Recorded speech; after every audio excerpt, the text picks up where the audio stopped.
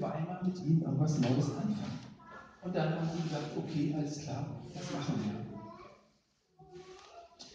Äh, ich habe dann so gefragt, so, was seid ihr denn, irgendwie Hauskreis, Gemeinde? Ich habe eigentlich auch von Gemeinde mal gesprochen, da meinten sie, nee, das ist mir zu anspruchsvoll, das macht irgendwie zu viel Druck, haben wir irgendwie Angst vor.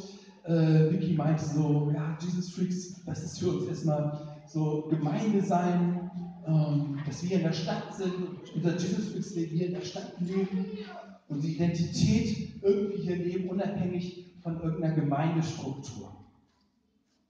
Was echt geil und echt besonders ist, die Jesus Freaks Weimar haben in einer Flüchtlingsausstellung von dem Aussteller einen Raum zur Verfügung bekommen, wo sie einen Gebetsraum einrichten durften. Das habe ich auch noch nie so gehört. Echt Hammergeschichte. Die sind irgendwie gefragt worden, haben da so hier die Ecke, da könnt ihr machen, was ihr wollt. Und dann haben sie sich da, ich habe den Raum besucht, haben die da so eine Ecke eingerichtet, wo die Leute ihre Gebete an so eine Pinnwand kleben können. Und ähm, haben da auch, das habe ich jetzt nicht fotografiert, so eine Gebetsbank und so eine Kerze. Und das ist echt ähm, coole Sachen. Die gehen da jeden Tag hin, machen da neue Flyer rein, räumen den Raum auf. Und das ist so eine ihrer Projekte, die sie für Jesus in Weimar an den Start gebracht haben. Dann feiern die in einem Soli-Café ihre Abhängabende. Das ist also ein Café, ja, ein normales weltliches Café, aber halt mit diesem Soli-Konzept. Das heißt, du kannst äh, dir Getränke nehmen und so viel Geld geben, wie du denkst, äh, es richtig ist, für dieses Getränk zu geben.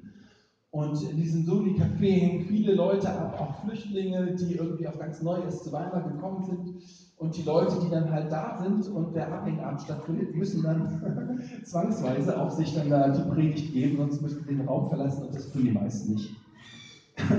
so hatten wir äh, dann tatsächlich ähm, einige Jews für zweimal bei uns äh, bei diesem Gottesdienst, aber auch viele Leute, die in der Ecke saßen, die wirklich von Tuten und Blagen und äh, Bibel und Gott und Glaube und Jesus überhaupt null Ahnung hatten und ich sollte dann erstmal eine Lesung machen aus, aus, aus dem, meiner Lebensgeschichte Jesus Freaks, wo ja auch die, die Geschichte, die Entstehungsgeschichte der Jesus Freaks drinsteht.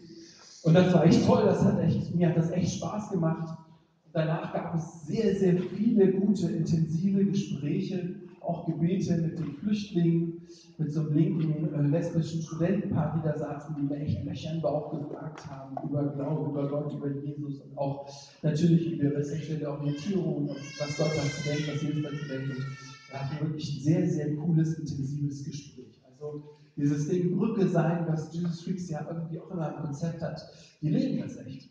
Die sind da wirklich in diesem Soli-Café voll integriert. Vicky und Robin haben äh, vorher richtig coolen so Single-Songwriter-Lobpreis gemacht, sag ich mal, mit Akustikklampe. Und ähm, einige haben mitgesungen und das hat den Abend irgendwie gut eingeleitet und auch gut abgerundet. Und ja, was auch für mich überraschend war, vorher gab es irgendwie so ein Radiointerview, meinte Phil, ja, hier sind unsere Studentensender, die wollen mit dir quatschen. Und dann stand ich da plötzlich in so einer komischen Kabine und dann hat nämlich irgendwie über Jesus gefragt und so. Aber das war irgendwie auch so ein nettes Ding. Ja, wofür kann man beten, wenn man für Jesus zweimal betet? Ähm, Habe ich die beiden auch gefragt.